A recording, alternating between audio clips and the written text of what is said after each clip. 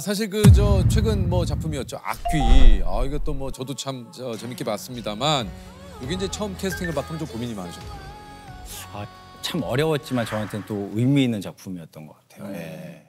보통 드라마에서 누군가가 자살하려고 그러면 주인공이 가서 구해주는 게 보통 첫 스타트인데 이 친구는 구해주러 갔는데 결국 못 구해주면서 이 친구가 등장을 하거든요. 그래서 좀 미디어를 통해서 좀 안 좋은 사건 사고를 들었을 때 보통 멀리서 그냥 가슴 아파했었었는데 이 친구를 만나면서는 그런 마음이 조금 더 진해졌던 것 같아요.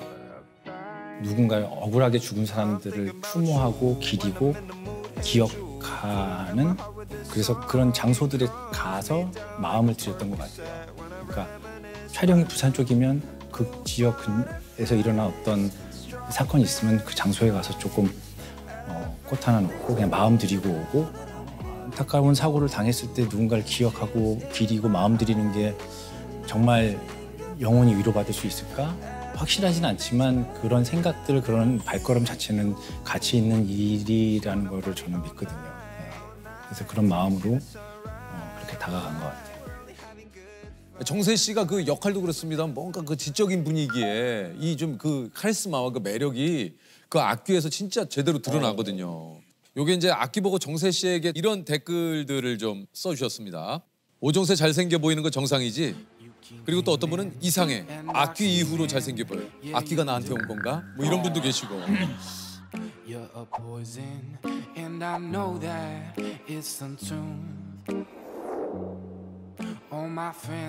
어떤 겁니까? 이 원래 잘생긴 겁니까? 아니면 이제 악기가 좀 쉬었다고 이- 이분 얘기대로 해야 되는 겁니까? 이게 뭡니까? 풀리지 않는 숙제 같은데요. 그냥 가장 기분 좋은 댓글이나 칭찬 같은 거 좀 기억에 남는 거 있습니까?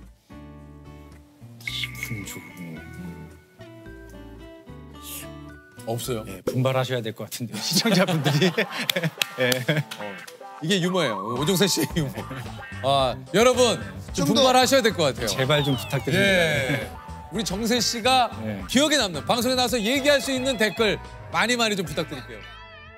사실 오정세 씨의 필모를 좀 살펴보게 되면 영화가 어, 78편, 드라마가 30편, 작품 수가 정말 많아요. 이게 그 100여 편의 작품에 출연하기 전에 천 번이 넘는 오디션을 봤다고 그래요? 그냥 들어가는 영화나 드라마가 있으면 다 프로필을 내고 오디션을 열 번을 보면 한 번이 되고 뭐 이러니까 한 100번 이상 돌려야지 한 번이 되는 예전에는 똑똑하고 이제 들어가서 저 배웁니다 하고 이걸 가- 놓고. 놓고 오기까지가 되게 쑥스러운 그래갖고 초반에는 그냥 전단지 넣듯이 밑에다 쏙 가- 이렇게 도망오고 뭐 이게 아 문틈에다가 네. 근데 보니까 또 다른 가게고 중국집에다 넣기도 하고 뭐 이게. 네. 근데 생각해 보면은 지금은 이제 필모가 이렇게 뭐 100여 편이 되지만 초창기에 이제 그 자기소개서 이력서가 있을 거 아니에요. 전 배우 그렇겠죠. 뭐 오정세, 키맷, 뭐, 뭐 막주기도 경력사이 음, 음, 공란인 거예요. 음. 어, 없어서 기억에 남는 첫 경력이 예를 들어서 무슨 뭐, 뭐 영화 거미집, 음. 민식역, 3차 오디션까지 감. 그러니까 떨어지긴 했으나 나는 그러니까 3차까지 간 사람이다. 민식력을 내가 한 건 아니나 네, 3차까지는 붙은 오디션 3차까지는 까지는 했다가 이게 첫 경력이었던 것 같아요. 아니면 센스 있게 이 작품을 통해서 앞으로 채워갈 예정 이렇게 써놓으면 그러면 약간 조금 그러면은 좀 약간 예. 아 이거 아, 이 친구 좀 허세 있네 약간 예. 혹시 좀 뭐 많은 오디션을 봤지만 좀 기억에 남는 오디션 있습니까? 아 살인의 추억도 정말 저한테 살인의 추억. 어, 나오셨어요?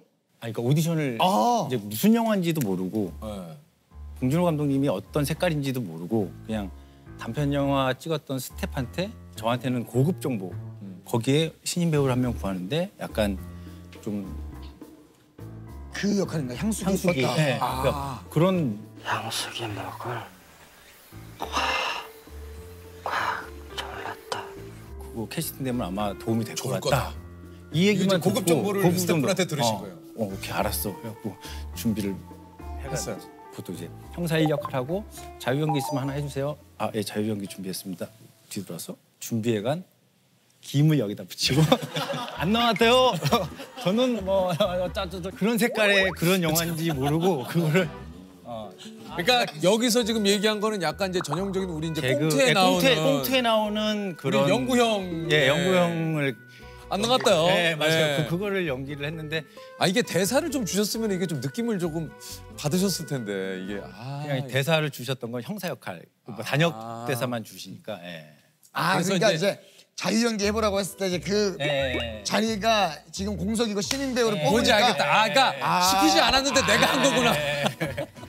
이쪽에선 모르겠지 생각했는데 나 혼자 그 고급 정보를 듣고 안 넘어갔대요. 예.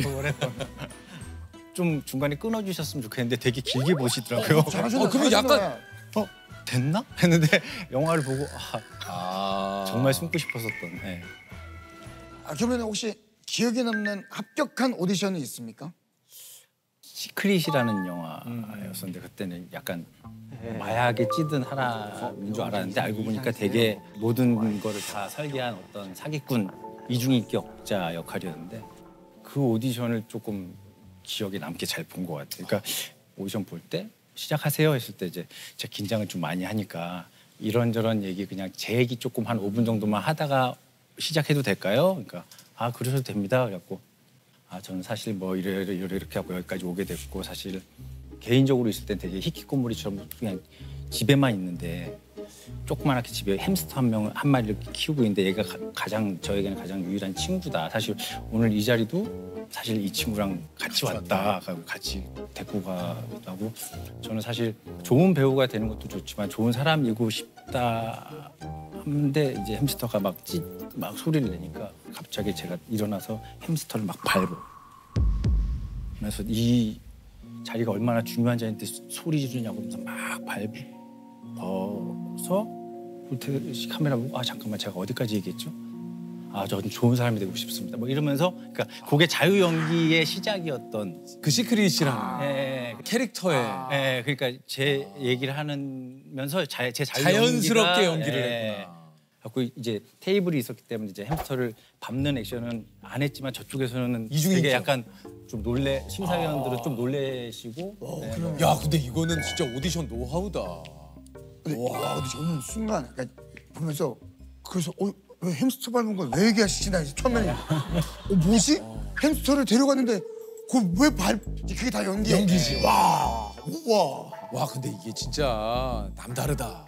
이게 어떻게 이 오디션에 내가 에, 사람들의 눈에 들 수 있을까에 대한 고민 끝에 탄생한. 하, 이제 뭐 부모님을 대신해서 뭐 일도 네. 하실 때도 있고. 아, 소문이 네. 많이 났대요. 네. 워낙 잘 도와주신다고. 그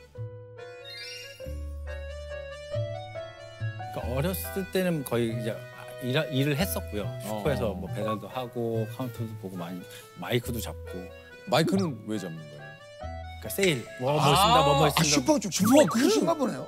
좀 아, 오버 동네에 있는 그거 있어. 큰 동네 마트구나. 마트 말고 슈퍼인데 조금 큰 내부가 슈퍼. 넓어서 과일도 팔고 생필품도 팔고. 아, 아이고 그냥 슈퍼가 아니네. 그 당시 마이크 잡으시면 주로 어떤 멘트를 어떤 좀- 멘트 좀 하세요? 그러니까 제가 다른 환경에서 마이크를 잡으면 그래도 뭐 할 텐데 내가 자라온 환경에 내 우리 동네에서 내가 그리고 또 아시는 되게- 분들이잖아요. 그러니까 모르게 되게 불편해갖고 초반에는 무선 마이크라서 2층 가서 그냥 혼자 구석에서 막 멘트를 뭐 어떤 멘트를? 아, 모르겠어요. 뭐 무- 뭐가 싸고 뭐가 싸고 뭐, 막 되게 되게 힘들게 막. 자 지금 또뭐 과일 코너에서 네, 뭘 세일하고 네, 있으니까 네. 많이 많이 찾아주시고요. 근데 그걸 되게 서투르게 했던 것 같아요. 사실 연기하시는데도 요게 좀 도움이 많이 됐다고 그래요. 이제 오시는 손님들 이런 또 이제 각자의 또 캐릭터가 있고 모습들이 연상이 네, 맞아요, 돼서 맞아요, 맞아요. 연기하는데 좀 도움이 되셨다고요. 그러니까 옛날에 24시간 슈퍼였었는데 아침 7시에 그분은 냉장고 문을 열어서 소주를 이렇게 따서 그 자리에서 두, 두 번의 완샷을 하고 천하장사 소세지 하고 나가시는 분이 계시는데 계속 속으로 저분은 출근하시는 걸까 퇴근하시는 퇴근하시는 걸까? 걸까도 궁금하고 작품 속에서 있으면 이게 말이 안 되지 않아? 뭐 이러는데 현실 속에서 보니까 아 저런 분들도 계시고 저런 분들의 생활은 어떻고 저 사람의 지금 정서는 어떨까 이런저런 많은 막 고민들을 하게끔 만드는 어떤 손님들 때문에 캐릭터를 완성하기도 하는 것 같아요. 아니 그 연기도 연기지만 이제 정세 씨만의 좀 따스함이 있어요. 맞아요. 아 근데 사실 너무 유명한 이야기이긴 하지만 네. 그한 친구와 같이 놀이공원 어. 네, 간 것도 뭐 많이 화제가 됐지만 예.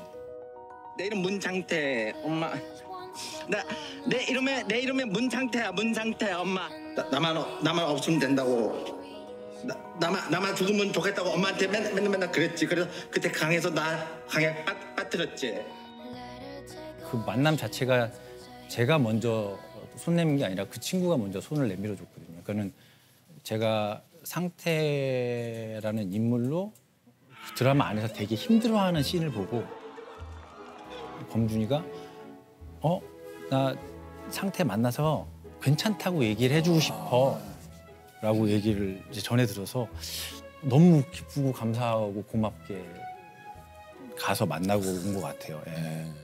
이게 이제 놀이공원에서 진짜 이제 네. 하루를 두 분이 네. 좀 보내셨는데 범준 씨를 위해서 상태 캐릭터 그대로 예. 그러니까는 음, 어머니한테 여쭤봤는데 오정세로 같이 놀아야 될까요? 상태로 아. 놀아야 될까요? 근데 어머님도 잘 모르겠다고 그러시더라고요. 근데 지금까지 범준이의 눈에는 상태가 더 들어와 있지 않을까라는 생각에 일단 준비는 해갔었는데 만나니까 제 상태로 이제 오롯이 그날 하루 같이 놀게 됐죠. 네.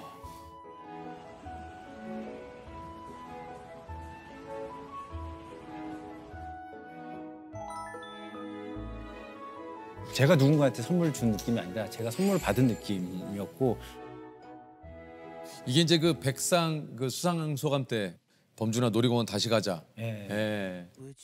범준아 놀이공원 다시 한번 또 가자. 요 약속도 또 지키셨다 그래요. 예, 그 다음에 해서 아. 같이 또 같이 범준이가 저를 케어 케어해 주는 느낌이. 예. 무서운 걸 타면 안 무서워도 해주고 예. 고마워 너로 인해 내가 안전함을 느껴라고 속으로. 예. 상태란 인물을 만났을 때 조심스러웠던 것 같아요.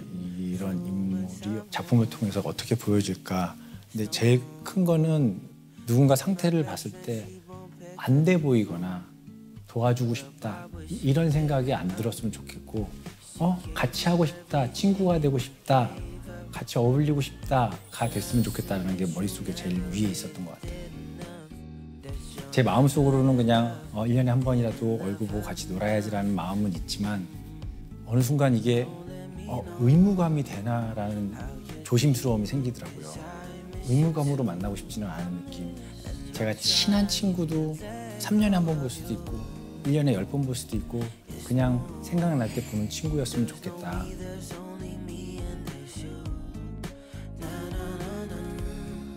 이런 따스함이 지금 어렸을 때도 이게 누나가 두 분 계시는데 아, 예, 예. 크리스마스 때 아. 누나 두 분이 또 함께 아, 예. 크리스마스 이브 때 이제 어, 저희들끼리 용돈을 모아가지고 양말을 사가지고 보온병에 이제 보리차 끓여가지고 그 당시에는 길거리에 이렇게 도움을 청하시는 분들, 아 맛있어요. 네. 맛있어요. 예, 그분들을 이제 누나 둘이랑 보온병이랑 양말 찾아가지고 이제 뭐 메리 크리스마스 하고 보리차 한 잔 드리고, 드리고. 그걸 이제 하루 했었는데 그때는 되게 또 약간 좀 약간 불편하고 창피하고 막 이랬었는데 지금 그런 정서들이 조금 막 저한테는 좀 되게 크게 남아 있는 것 같아요. 예. 그참 근데 누나도 참 두 분도 예. 참 따스하시네요. 예. 아니 그 저 대한민국의 삼대 수상 소감이 있는데 아 우리 그 황정민 씨의 밥상 소감. 네. 이렇게 멋진 밥상을 이렇게 차려놔요. 그럼 저는 그냥 맛있게 먹기만 하면 되는 거거든요. 저 아, 멀리 지성규 씨의 우주 소감. 좋은 배우라는 목표를 향해서 조금씩 나가는 배우가 되겠습니다. 그리고 오종세 씨의 동백꽃 어, 소감이에요. 요거 이제 제가 읽어드릴게요. 아, 여러분들이 무엇을 하던 간에 그 일을 계속 하셨으면 좋겠습니다. 음, 여러분들이 무엇을 하든 간에 그 일을 계속 하셨으면 좋겠습니다. 그냥 계속 하다 보면은 평소에 똑같이 했는데 그동안 받지 못했던 위로와 보상이 여러분들을 찾아오게 될 것입니다. 저한테는 동백이가 그랬습니다. 모두 곧 반드시 여러분만의 동백을 음, 만날 수 있을 거라고 믿습니다.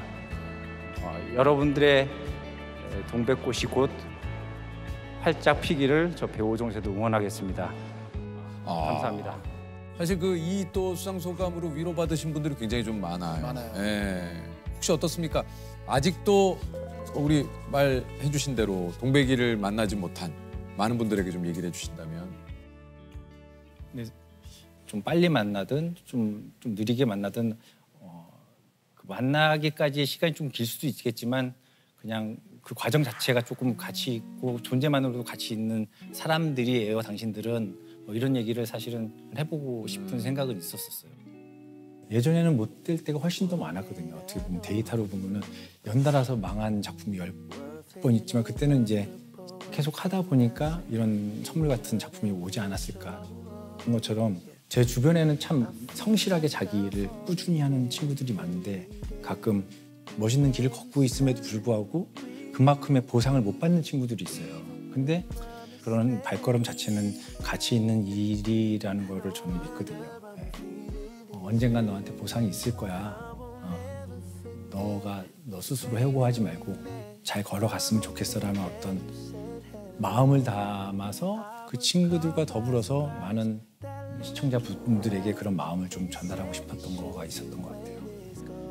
어떤 말로 어떤 어휘로 어떻게 표현해야 될지 모르겠지만 그냥 응원하고 싶은 마음은 항상 있는 것 같아요. 뭐 연결 지점은 없지만 그냥 이런 마음을 가진 한 사람이 있다. 느리지만 천천히 가고 있는 사람들을 그냥 멀리서 마음 드리는 누군가가 있다고 전달하고 싶어요.